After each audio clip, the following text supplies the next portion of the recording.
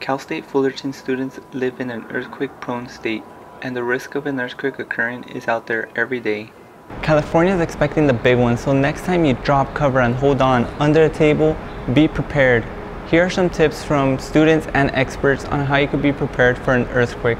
I was talking to my friends about it last week, and we're just talking about having cases of water um, and cans of food, you know, as storage if anything ever does happen.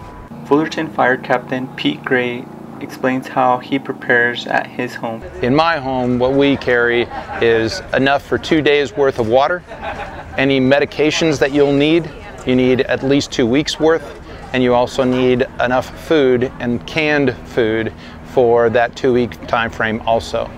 Also, you'll need uh, your cell phone won't necessarily be operable, so a plan of attack, say for example, if you're away from the house and there's an earthquake, that your family members know where to meet up in case you cannot contact them.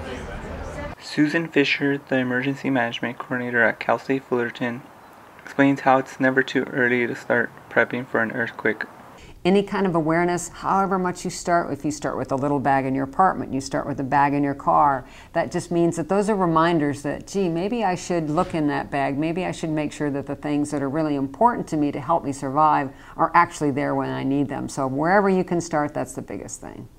Earthquakes are unpredictable, so don't let one catch you off guard and be prepared with at least some water and snacks. At Cal State Fullerton, Roberto Muniz, CSUF News.